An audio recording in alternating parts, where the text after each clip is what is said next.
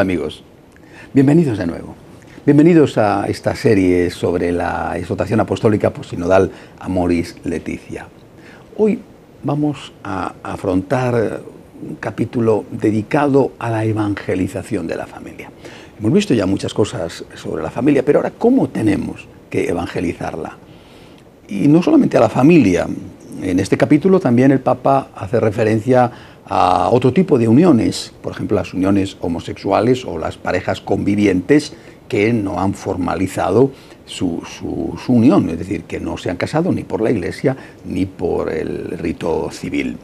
Y lo primero que dice el Papa es que está dando simplemente unas ideas y que después estas ideas tienen que ser concretizadas por las diócesis, es decir, hay que aplicarlo esto en cada caso concreto por las iglesias locales porque las circunstancias culturales evidentemente son muy distintas en un lugar u otro del mundo.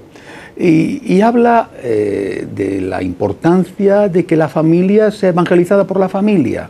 Creo que eso tendría que ser tenido cada vez más en cuenta. La familia va a la iglesia, la familia católica va a la iglesia, pero a veces no toda la familia, en el sentido estricto o en el sentido amplio, y desde luego otras familias de tu entorno, donde vives, eh, amigos, no van. Eh, eh, si no hacemos que la familia se convierta en misionera, va a ser muy difícil que podamos llegar a los alejados, es decir, a los que no vienen. Después, el siguiente ámbito de, evangelización, dice el Papa, eh, tiene que ser la parroquia. La principal contribución a la pastoral familiar la ofrece la parroquia, que es una familia de familias, donde se armonizan los aportes de las pequeñas comunidades, movimientos y asociaciones eclesiales. Este es un tema importantísimo. Si la parroquia se convierte en un reducto que no admite a nadie, que no admite a los movimientos eclesiales, por ejemplo, se empobrece. Y los movimientos tienen que vivir fuera del ámbito parroquial. Pero a la vez, si los movimientos no confluyen en la parroquia, empobrecen a la iglesia. Y la parroquia tiene que estar abierta. Pero también los movimientos y las nuevas realidades eclesiales tienen que introducirse, es decir, tiene que haber un encuentro recíproco. Y ese encuentro se tiene que producir en la parroquia. El Papa plantea una cuestión esencial para la evangelización de la familia, la preparación al matrimonio. La compleja realidad social y los desafíos que la familia está llamada a afrontar hoy requieren un compromiso mayor de toda la comunidad cristiana en la preparación de los prometidos al matrimonio. Es preciso recordar la importancia de las virtudes, entre estas la castidad, resulta condición preciosa para el crecimiento genuino del amor interpersonal. Vamos, no creo que haya cosa más clásica que esta, no a las relaciones prematrimoniales. Dicho con toda claridad por el Papa, el amor y Leticia. Hay diversas maneras legítimas de organizar la preparación próxima al matrimonio y cada iglesia local discernirá lo que sea mejor procurando una formación adecuada que al mismo tiempo no aleje a los jóvenes del sacramento. No vas a poner una preparación matrimonial de varios años porque se aburren. No se trata de darles todo el catecismo ni de saturarlos con demasiados temas, interesa más la calidad que la cantidad y hay que dar prioridad junto con un renovado anuncio del querigma, es decir, de lo esencial del Evangelio, a aquellos contenidos que comunicados de manera atractiva y cordial les ayuden a comprometerse en un camino de toda la vida con gran ánimo y liberalidad.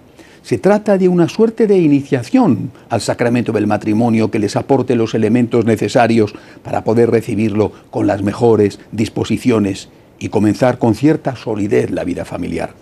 Suelen ser muy útiles los grupos de novios y las ofertas de charlas opcionales sobre una variedad de temas que interesan realmente a los jóvenes.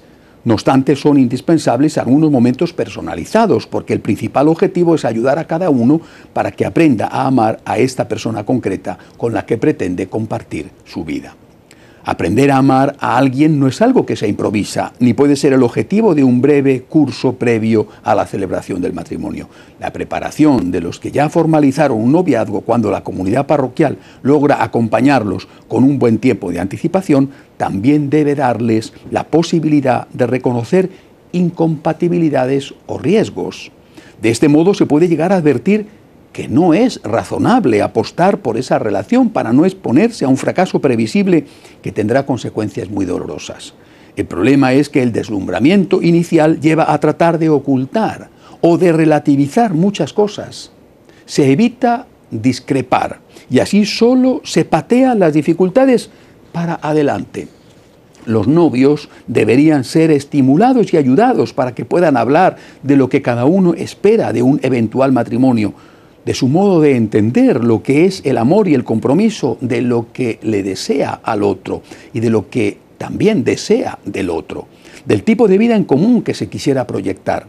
Estas conversaciones pueden ayudar a ver que en realidad los puntos de contacto son escasos y que la mera atracción mutua no será suficiente para mantener la unión. Nada es más volátil, precario o imprevisible que el deseo. Y nunca hay que alentar una decisión de contraer matrimonio si no se han ahondado otras motivaciones que otorguen a ese compromiso posibilidades reales de estabilidad. Esto implica aceptar con sólida voluntad la posibilidad de afrontar algunas renuncias, momentos difíciles y situaciones conflictivas y la decisión firme de prepararse para ello. Se deben detectar las señales de peligro que podría tener la relación para encontrar antes del casamiento recursos que permitan afrontarlas con éxito, o, si no, que no haya ese casamiento. Lamentablemente muchos llegan a las nupcias sin conocerse. Solo se han distraído juntos, han hecho experiencias juntos, muchas veces experiencias sexuales en las cuales a lo mejor saben mucho, pero en el conocimiento de cómo es el otro no saben nada. Pero no han enfrentado el desafío de mostrarse a sí mismos y de aprender quién es en realidad el otro. Qué preciosas palabras del Papa Francisco sobre la preparación al matrimonio. También el Papa habla de cómo debe celebrarse el matrimonio. La preparación próxima al matrimonio tiende a concentrarse en las invitaciones, la vestimenta, la fiesta y los innumerables detalles que consumen tanto el presupuesto como las energías y a veces también la alegría. Los novios llegan agobiados y agotados al casamiento en lugar de dedicar las mejores fuerzas a prepararse como pareja para el gran paso que van a dar juntos. Esta mentalidad se refleja también en algunas uniones de hecho que nunca llegan al casamiento porque piensan en festejos demasiado costosos en lugar de dar prioridad al amor mutuo y a su formalización ante los demás. Ahora vienen unas palabras muy personales del Papa a los novios.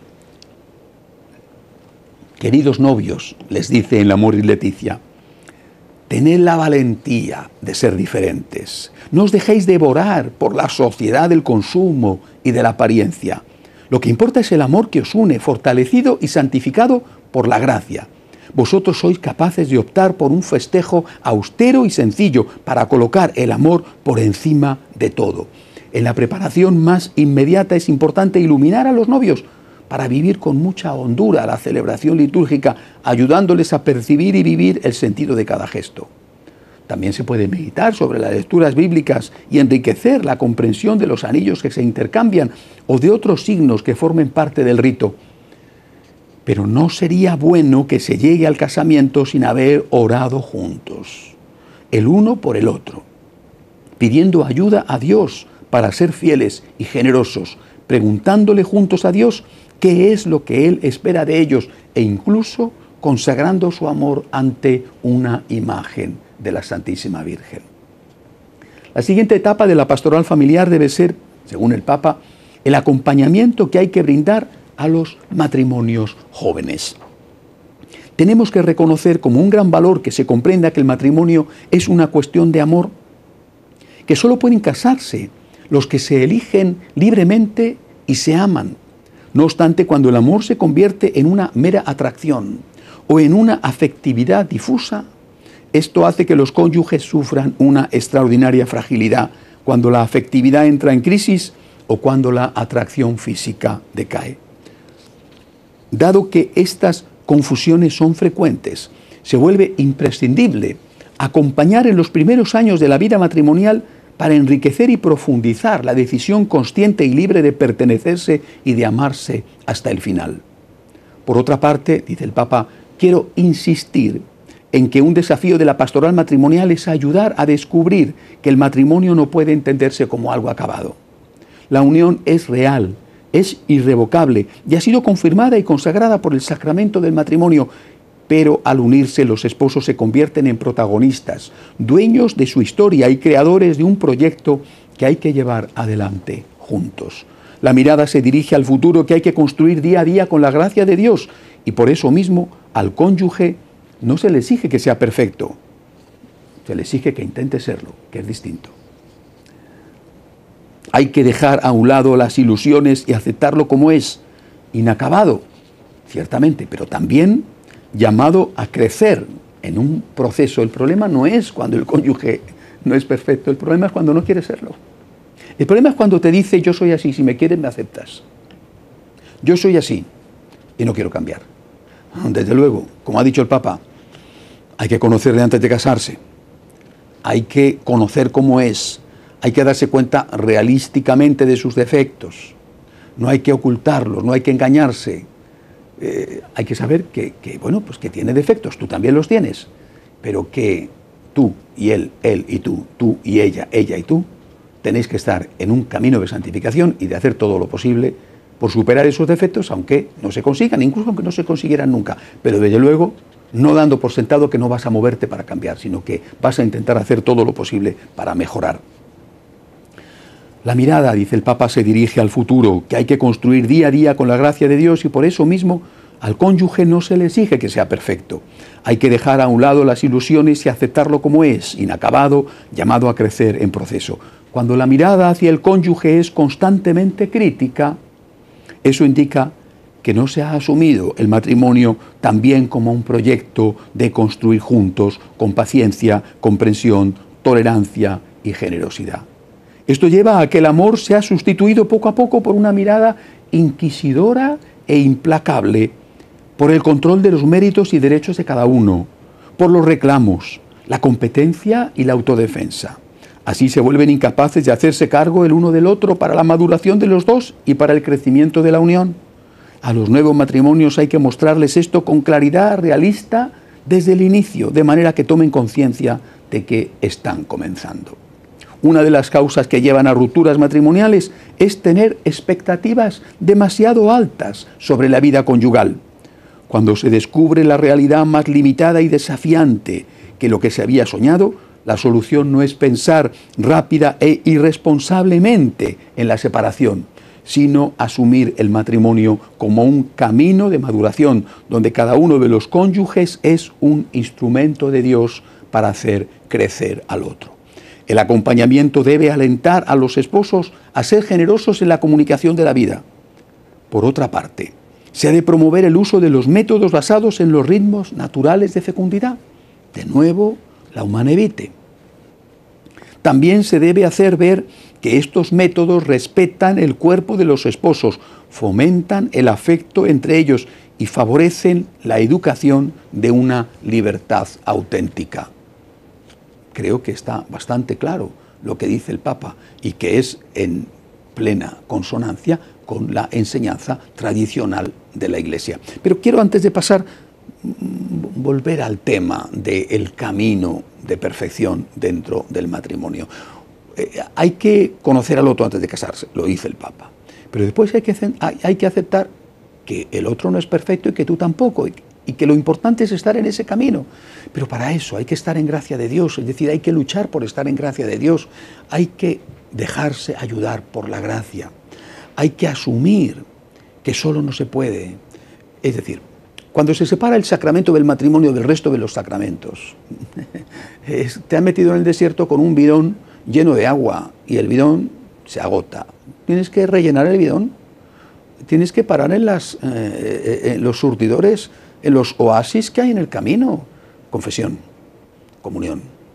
De esa manera te dices a ti mismo las cosas, recibes la fuerza que necesitas, pides perdón por tus errores y sacas de Dios la ayuda imprescindible para seguir adelante.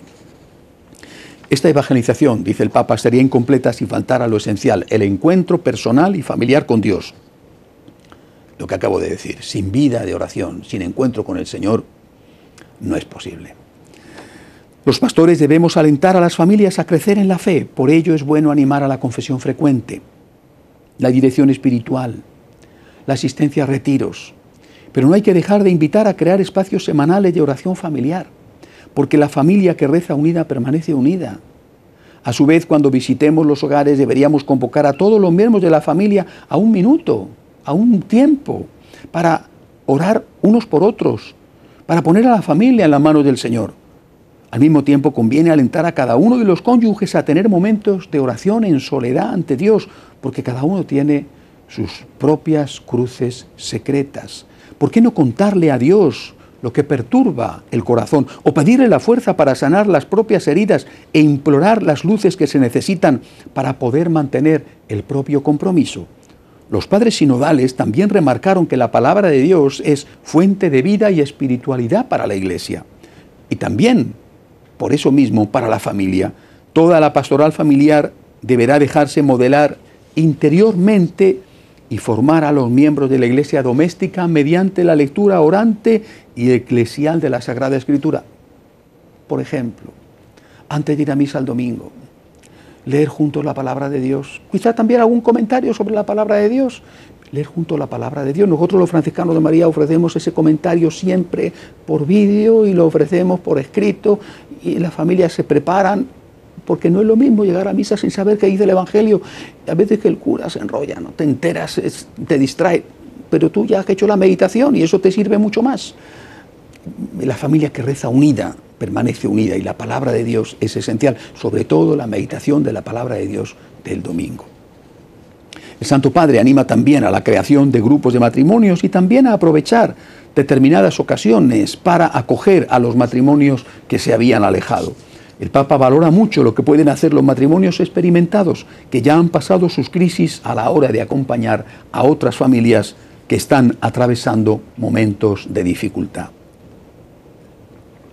Dice el Papa, hay crisis comunes que suelen ocurrir en todos los matrimonios, como por ejemplo la crisis de los comienzos, cuando hay que aprender a compatibilizar las diferencias y desprenderse de los padres, o la crisis de la llegada del hijo con sus nuevos desafíos emocionales, la crisis de la crianza, que cambia sus hábitos eh, eh, en el matrimonio, la crisis de la adolescencia del hijo, crisis tremenda, que exige muchas energías, desestabiliza a los padres y a veces los enfrenta entre sí. La crisis del nido vacío, que obliga a la pareja a mirarse nuevamente a sí mismo. La crisis que se origina en la vejez de los padres de los cónyuges, que reclaman más presencia, cuidados y decisiones difíciles. Son situaciones exigentes que provocan miedos, sentimientos de culpa, depresiones o cansancios que pueden afectar gravemente a la unión. A estas se suman las crisis personales que inciden en la pareja relacionadas con dificultades económicas, laborales, afectivas, sociales, espirituales. Y se agregan circunstancias inesperadas que pueden alterar la vida familiar y que exigen un camino de perdón y de reconciliación. Al mismo tiempo que intenta dar el paso del perdón, cada uno tiene que preguntarse con serena humildad si no ha creado las condiciones para exponer al otro a cometer ciertos errores. Por ejemplo, uno engaña al otro.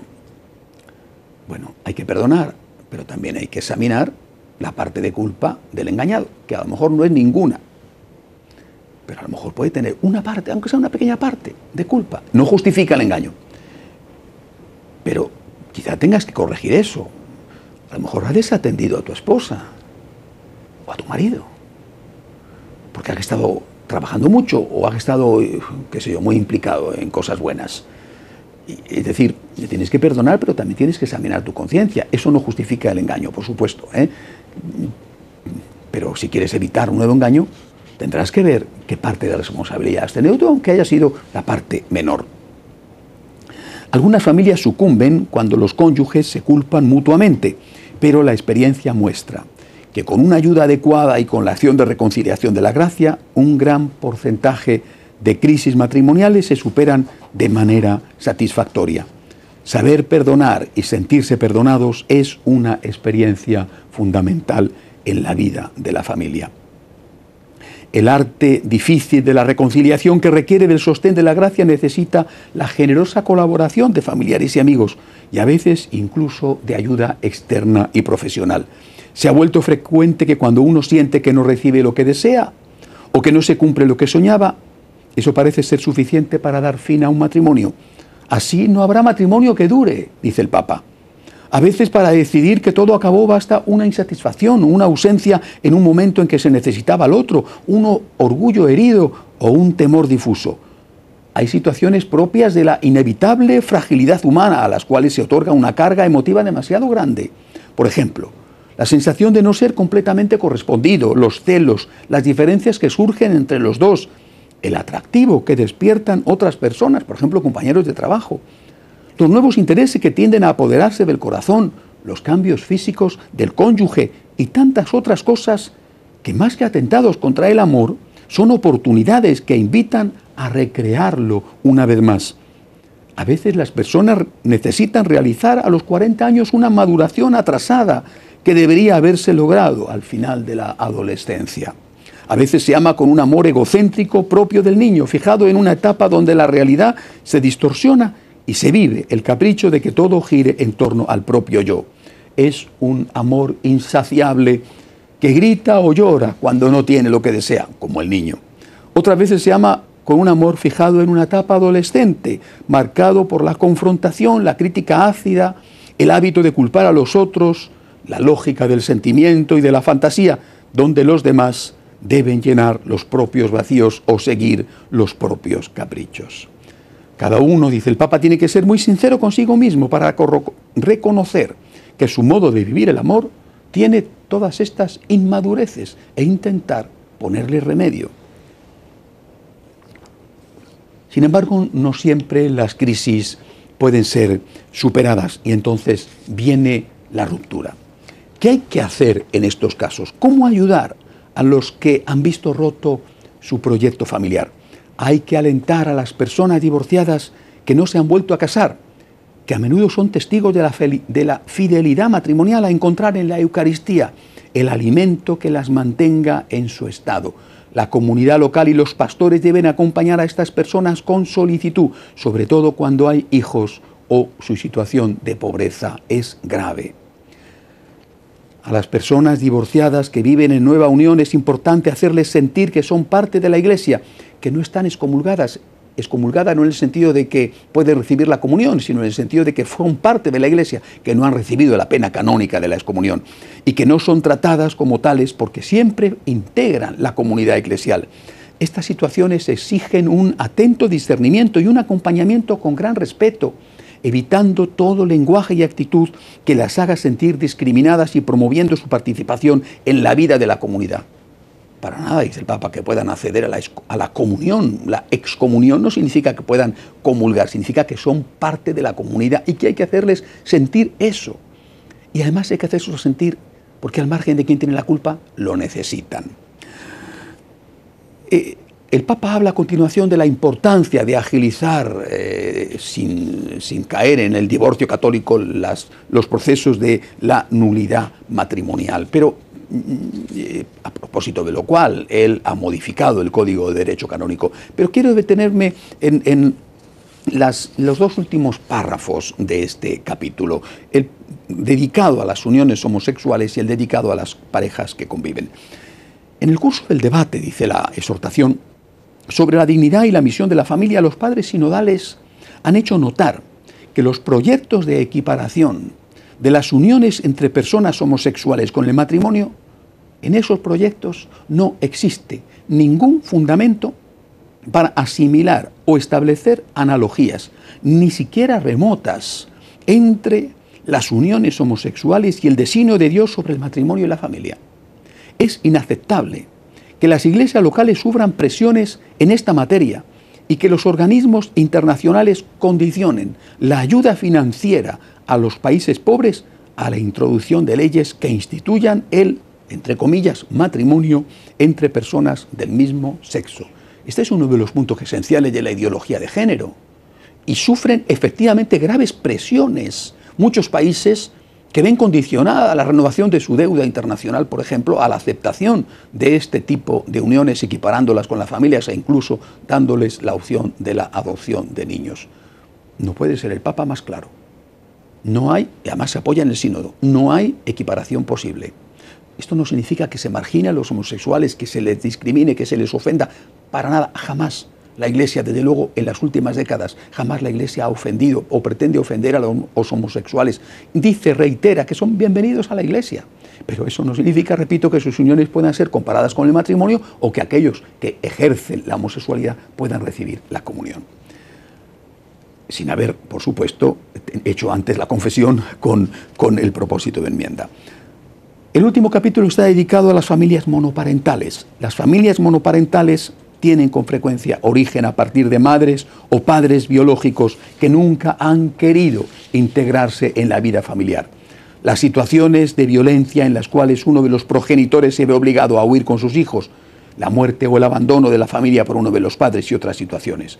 Cualquiera que sea la causa, el progenitor que vive con el niño debe encontrar apoyo y consuelo entre las familias que conforman la comunidad cristiana, así como en los órganos pastorales de las parroquias. Es decir, si estás solo con tus hijos y no has querido casarte, eh, que es una situación distinta de cuando tienes hijos usando, eh, por ejemplo, los bancos de esperma o los bancos de óvulos, eh, bueno, no has querido casarte porque has visto que tuviste el hijo y la persona no es la adecuada. O bien te has quedado viudo viuda, o bien has tenido que huir de tu país con los niños porque, porque era una situación grave, pienso en los casos de Siria o Irak.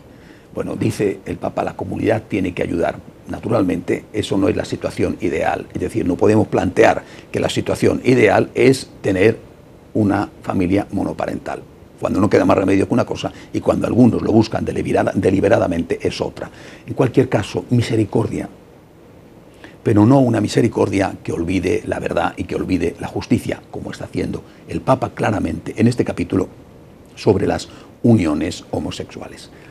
La próxima semana seguiremos meditando en Amor y Leticia, si Dios quiere. Hasta entonces.